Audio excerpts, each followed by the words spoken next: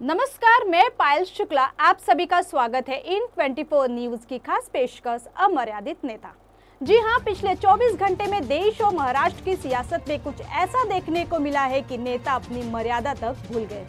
दरअसल सोमवार को राष्ट्रपति के अभिभाषण पर चर्चा में शामिल हुए लोकसभा के नेता प्रतिपक्ष राहुल गांधी ने संसद में हिंदू और हिंसा को लेकर भाजपा पर हमला बोला, जिसको लेकर दिल्ली से लेकर महाराष्ट्र तक संग्राम छिड़ गया। आइए पहले हम आपको सुनाते हैं कि आखिर कांग्रेस नेता राहुल गांधी ने क्या कुछ कहा है। शिव जी कहते हैं, डरो मत, डराओ मत।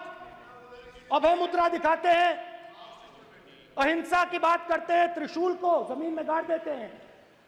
और जो लोग अपने आप को हिंदू कहते हैं, वो 24 घंटा हिंसा हिंसा हिंसा। नफरत नफरत नफरत। असत्य सत्य असत्य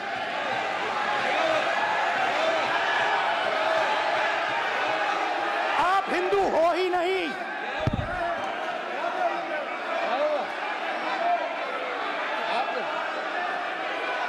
Just of Shiva. I'm inside Speaker's office. Hindu धर्म में साफ़ लिखा है। सत्य के साथ खड़ा होना चाहिए। सत्य से पीछे नहीं हटना चाहिए। सत्य से नहीं डरना चाहिए। अहिंसा हमारा प्रतीक है। राहुल गांधी के इस बयान पर इतना हंगामा मचा कि महाराष्ट्र की विधान परिषद में गाली गलौज तक हो गई। दरअसल राहुल गांधी के बयान को लेकर भाजपा के विधायकों ने आपत्ति जताते हुए सदन में हंगामा किया। इसके बाद महाविकास आघाड़ी के विधायकों ने पलटवार किया और दोनों गुटों के विधायकों के बीच तीखी नोकझोंक देखने को मिली।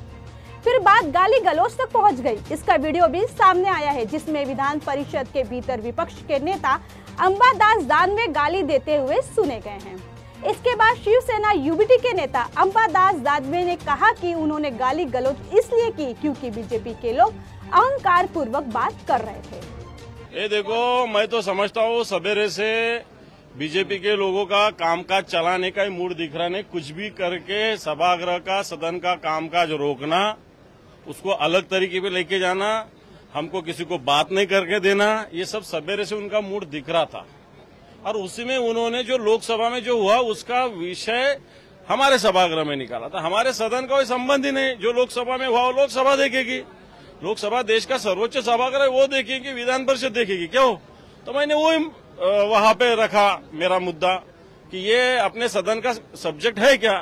तो उस पर मेरे से बात कर, उन्होंने सभापति से बात करना चाहिए थी, मेरे से बात कर रहे वो भी आरो घंटे बात कर रहे तो मैंने आरो घंटे जवाब दिया। आपको बता दें कि बीजेपी के विधायक प्रसाद लाड और प्रवीण दरेकर ने सदन के भीतर राहुल गांधी के बयान पर कड़ी प्रतिक्रिया दी। उन्होंने राहुल की बयान को हिंदुओं का अपमान बताया। वहीं अंबादास दानवे के व्यवहार पर भी भाजपा विधायकों ने कड़ा ऐतराज जताते हुए माफ़ी की मांग की है। उन्होंने कहा कि जब तक अंबादास दानवे माफ़ी नहीं मांगेंगे, तब तक सदन नहीं चलने दिया जाएगा। सभागृह में, लोकसभा में विरोधी पक्ष नेता राहुल गांधी जी ने भगवान शिवशंकर का और उनके त्रिशूल का नाम लेकर हिंदू समाज, हिंसक है हिंसक है हिंसक है, इस तरीके की अभद्र भाषा लोकसभा में की, जिसका माननीय प्रधानमंत्री ने तीव्र शब्द में निषेध किया और कहा कि इस तरीके का हिंदुओं का अपमान सभागृह में और हिंदुस्तान में सहा नहीं जाएगा। और इसी विषय को लेकर जब ये बात हमारे ध्यान में आई, जहन में आई मीडिया के माध्यम से, हमने सभागृह में ये विषय रखने की कोशिश की। हमारे गट नेता प्रवीण दरेकर जी, हमारे नेता सम्माननीय श्रीकांत भारतीय जी, हमारी बहन, सभी सदस्यों ने ये विषय रखा। विषय रखने के बाद महाविकास आघाड़ी के सभी सदस्यों ने सभागृह में हंगामा करने की कोशिश की। इसलिए सभागृह पाँच मिनट के लिए ताकुब किया गया। लेकिन फिर से जब सभागृह शुरू हुआ तो माननीय प्रवीण दरेकर जी ने अपनी बात रखते हुए इस इस चीज़ का निषेध किया।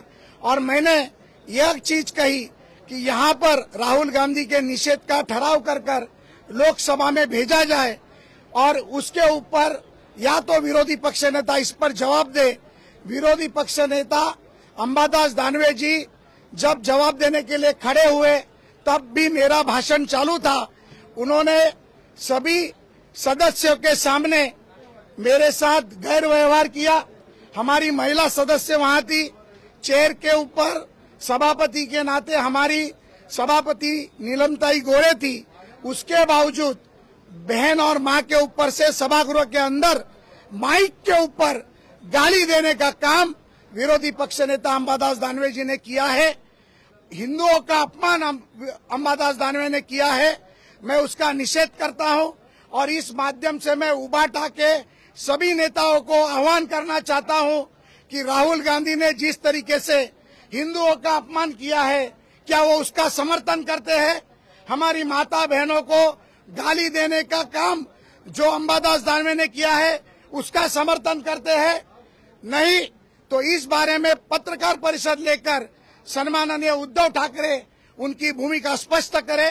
नहीं तो हम सभागृह चलने नहीं देंगे।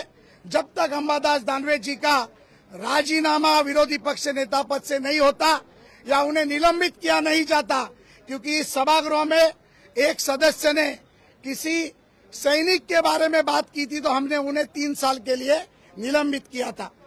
उस चीज़ को फिर दोहराना चाहता हूँ। हमारी बहनों के सामने, माता बहनों के ऊपर से गाली देने वाले अंबादास दानवे को निलंबित किया जाए और विरोधी पक्ष नेता पद का उनका राजीनामा लिया जाए, ये मेरी मांग है। बहरहाल, अब देखना होगा कि राहुल के बयान पर शुरू हुआ संग्राम कहाँ जाकर थमता है।